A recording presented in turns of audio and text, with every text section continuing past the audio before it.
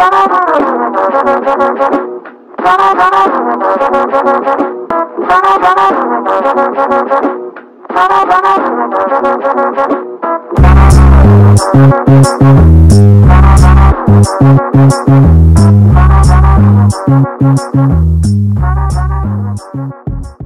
welcome to another edition of Talking Termites. I am Richard Hughes, your host from PQ Termite Protection. Today we're going to talk about different different termites that we encounter out in the field. The first termite that we're talking about is drywood termite. Drywood termites consist of three stages. They have the workers, they have the soldiers, and they have the reproducers. Now drywood termites nest primarily inside the wood that they are feeding upon, unlike their unlike the subterranean termites which nest into the soil.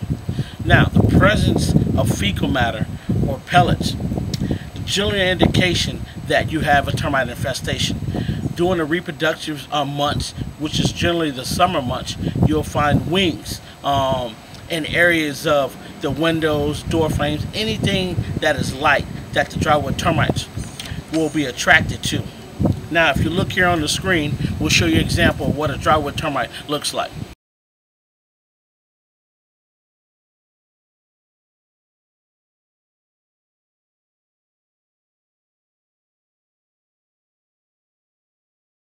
Alrighty, next up we have the subterranean termites. We primarily deal with three different types of subterranean termites in South Florida.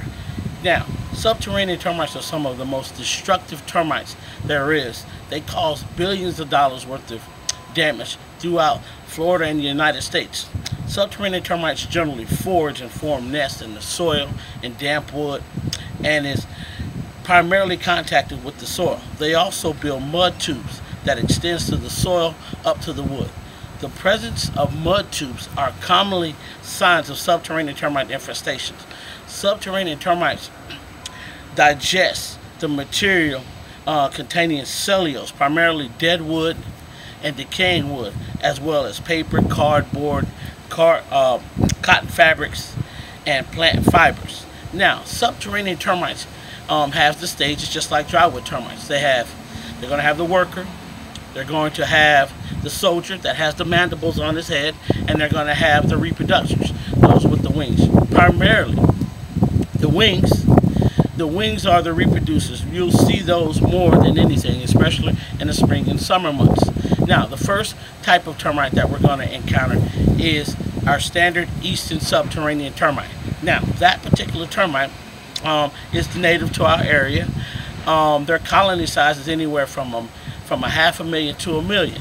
Um, one of the ways that you can distinguish the subterranean termite, the eastern subterranean termites from our other three, uh, the other two termites will be um, if you found the alates, which is the swarmers. The swarmers are, are dark black color.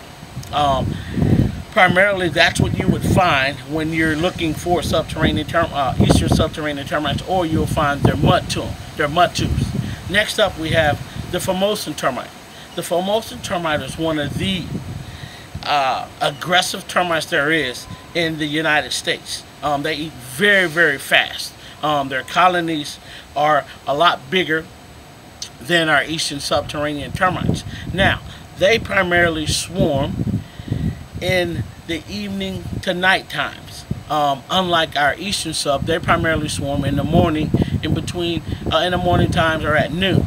Um, now, the, the Formosan termite, one of the things is they forage for food just like our, our eastern subterranean termite.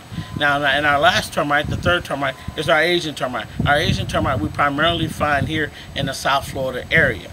Um, one of the distinctive things with them is from their, their soldiers. Their mandibles are a little curved. It's something that um, a professional as myself would know once we're out in the field.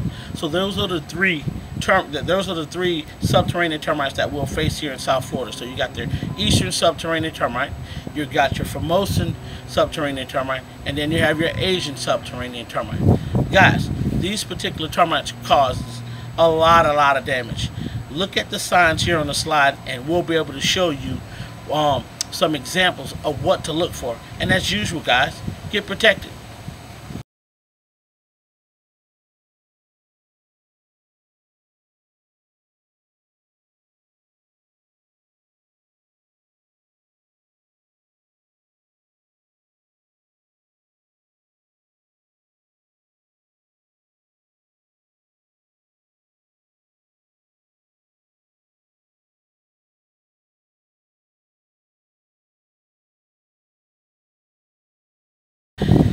Here's the thing. If you guys encounter any of these attributes or traits that you see, you guys need to call us because it's not about if, it's about when termites will strike. And you guys need to get protected. Alright? See you next time. Hit that like button, hit the subscribe, and listen, and get protected. PQ Termites.